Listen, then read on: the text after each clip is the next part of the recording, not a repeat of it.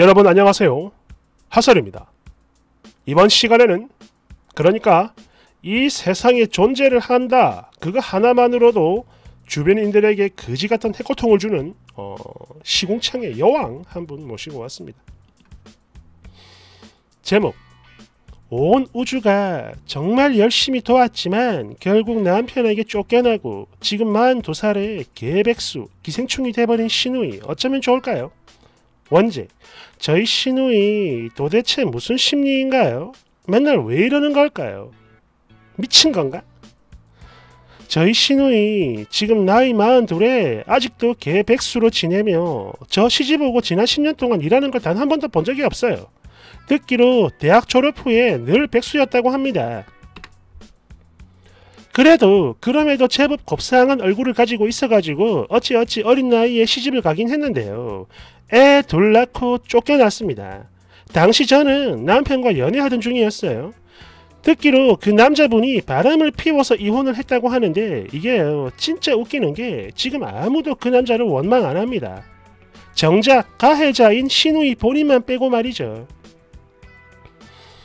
그러니까 신우이가 당시 이상한 종교에 빠져가지고 집안일도 안 하고 아이들 케어도 안 하고 진짜 하나도 안 했대요. 그러면서 맨날 첫 띵가띵가 놀다가 남편이 벌어오는 돈 쪽쪽 빨아먹고 또 그 이상한 곳에 갖다 바치고 그랬으니까 그래가지고 바람을 피운 거야. 그래가지고 이 때문에 이혼 당시 위자료 단 1원도 못 받았다고 합니다. 아니 돈 안 토해낸 게 다행이죠. 수천 꼬라박아 넘옵니다. 여하튼 그렇게 쫓겨난 후에 자식 둘을 데리고 본가로 들어오게 됐는데요. 이후 자기 부모님은 물론이고 지 남동생, 즉 저희 남편의 피까지 쪽쪽 빨아먹으려는 미친 종자가 돼버렸어요.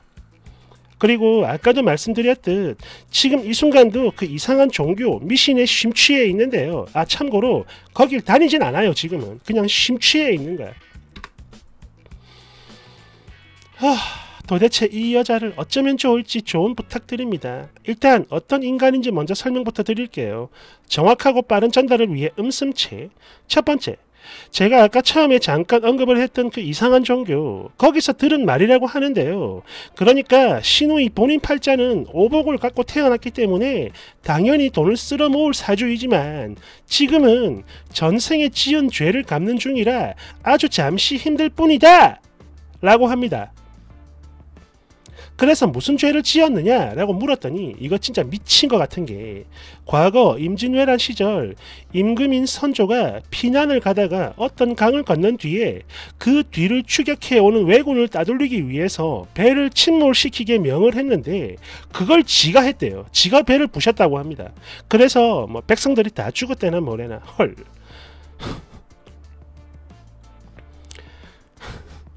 근데 이런 사건이 실제로 있긴 있었죠. 예.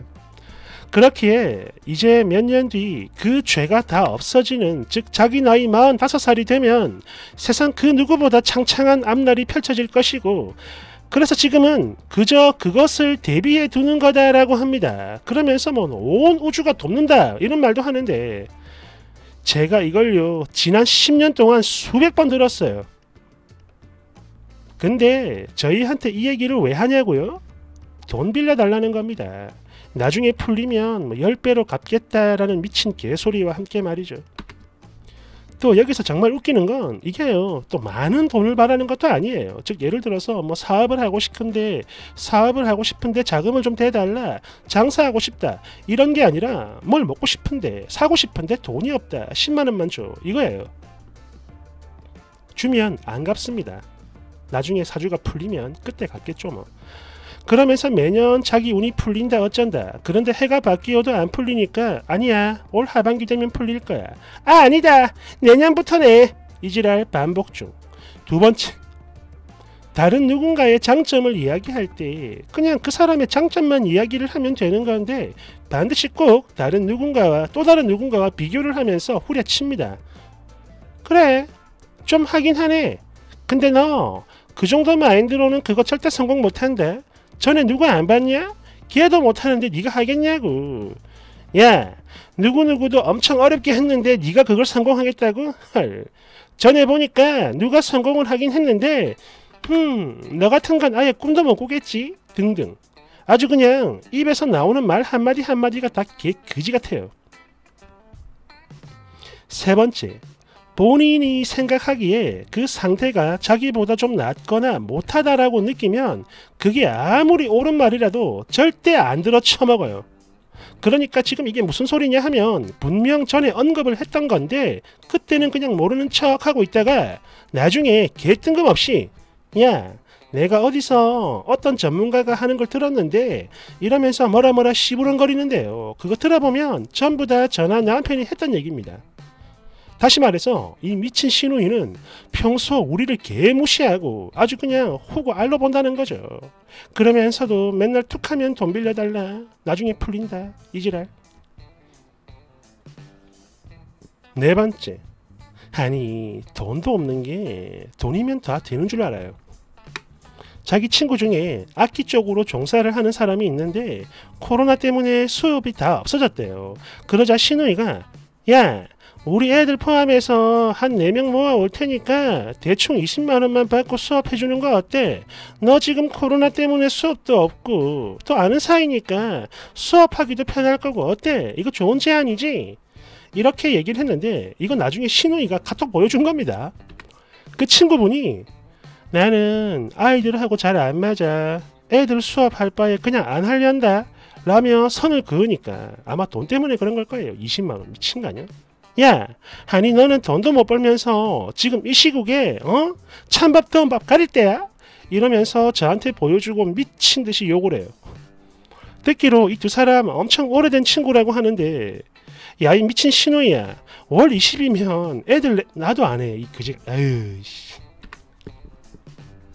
한 사람당 20도 아니고 다섯 번째 분명 친하게 지낸다는 무리라 들었는데 매번 이해할 수가 없다며 꼭 저한테 그 뒷담을 합니다.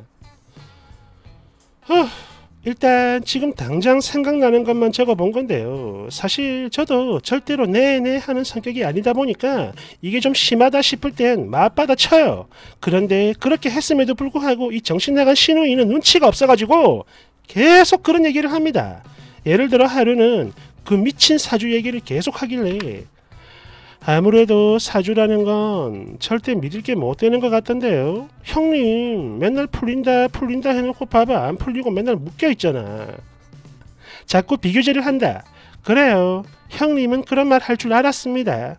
아까 그 음악하는 친구 뒷담을 며칠 내내 하길래 형님도 돈 없잖아요. 그런데 뭘 그렇게 걱정을 하세요. 빌려간 돈이나 갚아. 또 그 외에 자기 지인들 험담을 하면 그분도 지금 형님 욕하고 있을 겁니다. 등등. 저요 절대 신우이 편안 들어줍니다. 그냥 돌직구 난리죠. 그런데 이런 신발 그렇게 했음에도 계속 똑같은 얘기를 해. 왜 이래 이거. 아 띵받아.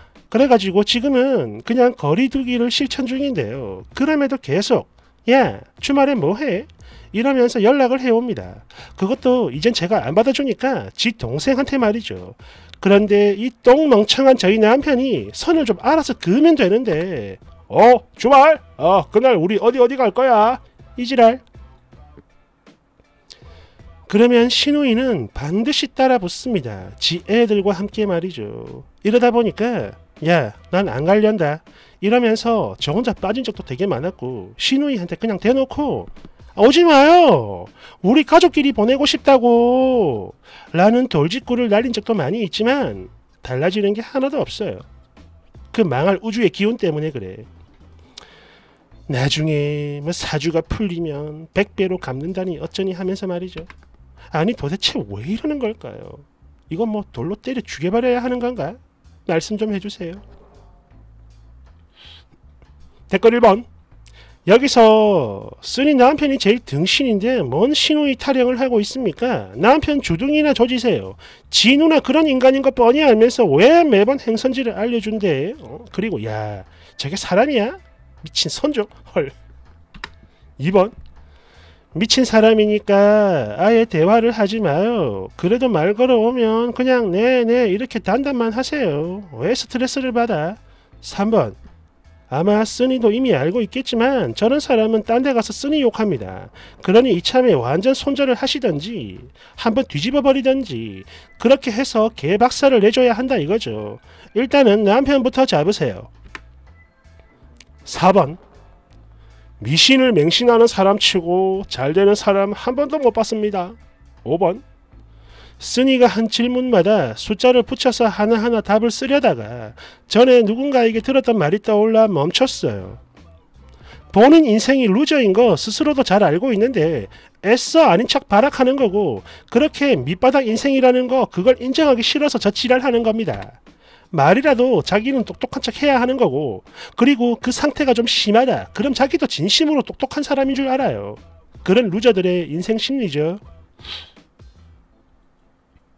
이렇듯 본인의 시궁창 같은 현실과 더불어 점점 더 낮아져가는 그 알량한 자존감을 지키기 위해 남들 후려치고 가르치고 하면서 정신 승리하는 겁니다. 그냥 손절하세요. 6번 이거는 무식한 사람들의 전형적인 특징입니다. 첫 번째, 미신, 신봉. 이것들은요, 과학적, 합리적 사고가 단 1도 없어요. 그렇기에 믿을 건 오직 미신 하나뿐입니다. 두 번째, 권위에 대한 굴종. 어느 정도 지식을 쌓은 사람들의 경우 박사 등의 큰 타이틀을 가진 사람이 하는 말이라 해도 사람마다 다 다양한 해석이 나올 수 있는 걸 알기 때문에 늘 열린 자세로 받아들이며 비판도 하고 그러는데요. 무식한 사람들은 그냥 그 박사 타이틀 하나만으로 무한 신뢰를 가집니다. 세 번째, 자존감 결여.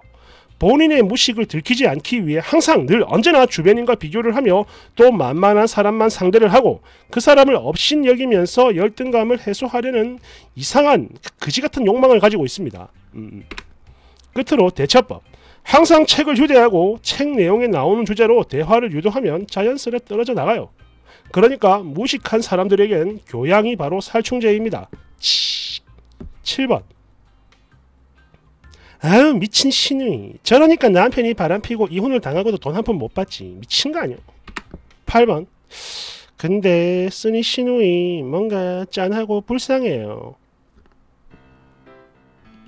저도 그런 생각했습니다. 좀 불쌍하긴 하네요.